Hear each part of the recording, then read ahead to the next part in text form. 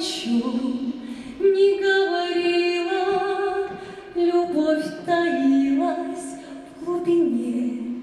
Она ждала, и вот проснулась, и глаза свои открыла.